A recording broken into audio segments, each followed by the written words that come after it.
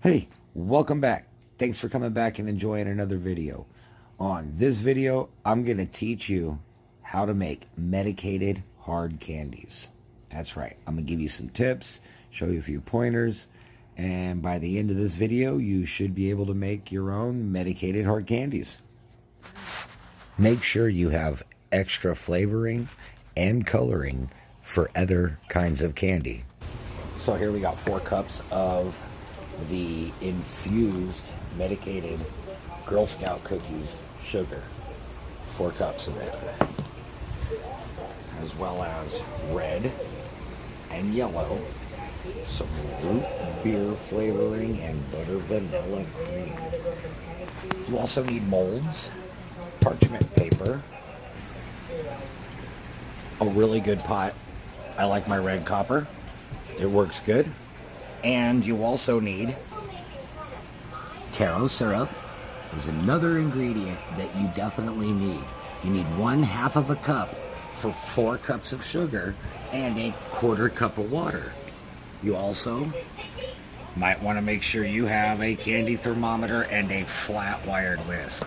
The flat wired whisk makes it so you can get to the bottom of the pan and scrape the whole bottom at one time.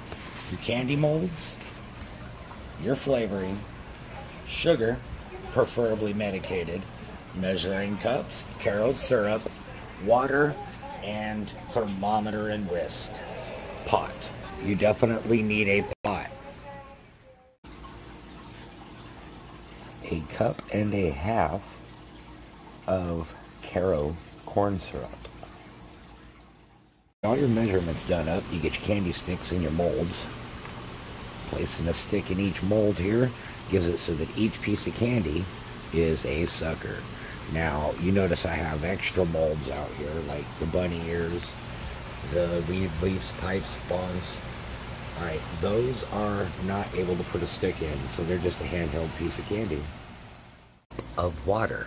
My personal preference is hot water because it helps melt the syrup out of your measuring cup double batch here of candy. So this is a pre-measured four cups of medicated THC sugar on average of 10 milligrams of THC per teaspoon. Four cups.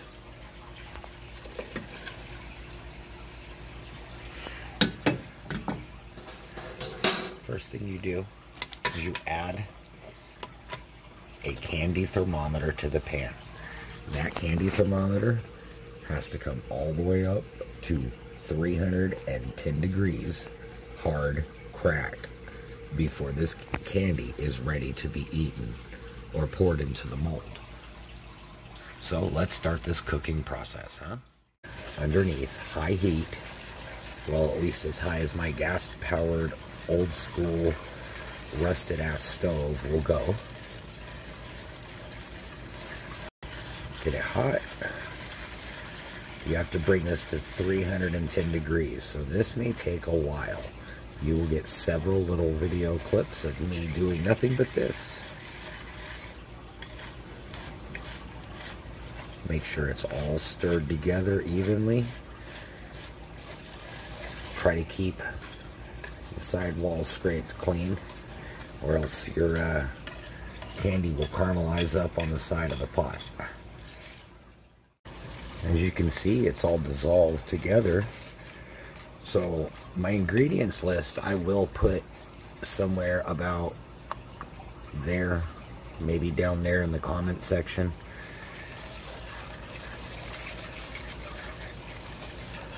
And let me know what you think, guys. I mean, do you like my videos? Do you want to see some more?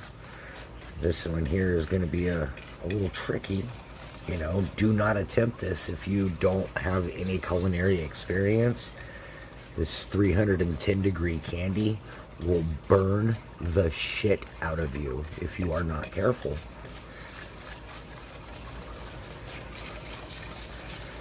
But you know me, I'm a stoner chef, I don't care.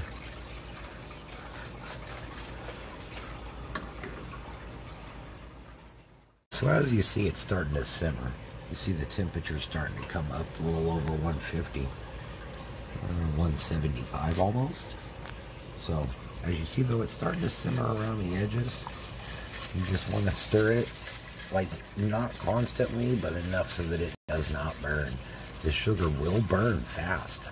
So like at least every 30 seconds at this rate. Now while it's going though, I'm gonna take the time. Let's add some flavor. Um, you know, I was gonna use a measuring spoon here. This is a tablespoon root beer extract. You know, I'm doing a double batch. So let's go with two tablespoons of root beer.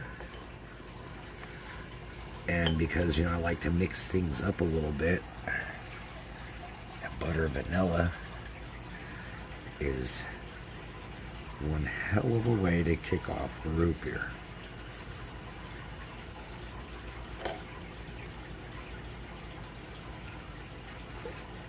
A nice healthy tablespoon of the butter vanilla.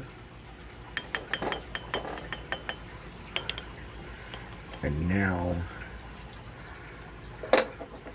we need like one, two, three, four, five, six drops of red and like two dozen squirts of yellow. That should give us a nice pretty brown.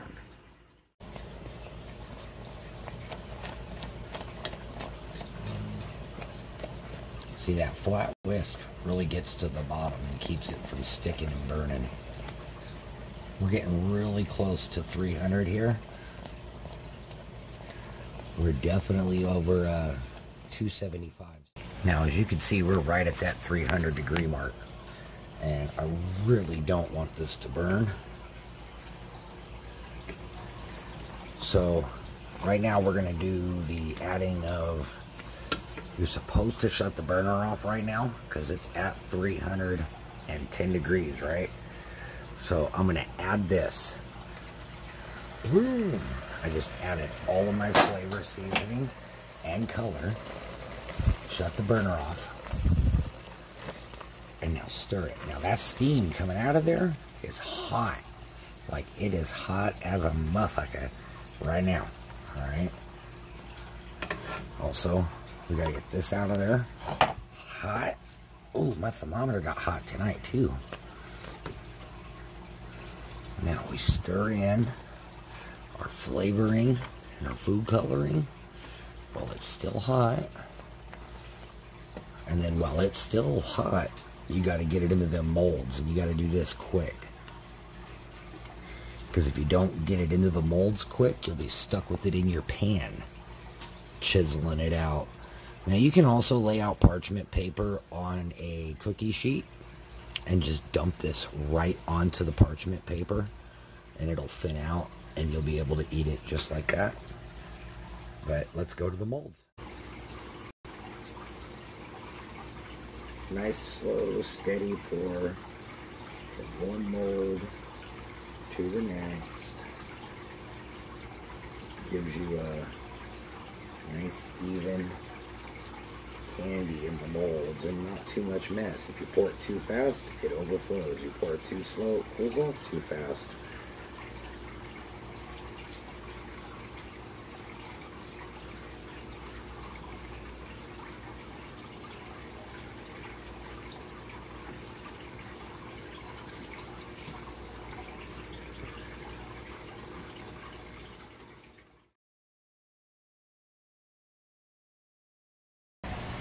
So after they're out of the molds, I use this powdered sugar that I have also infused.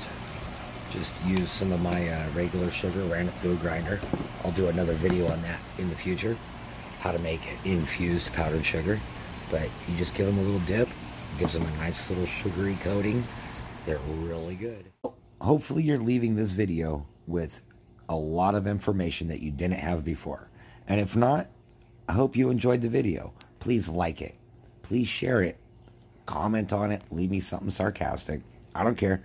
I appreciate the feedback. Thank you to everybody who's left comments in the past on other videos.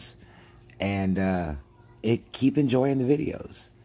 Um, make sure you hit the subscribe button and have a good day. Thanks for watching.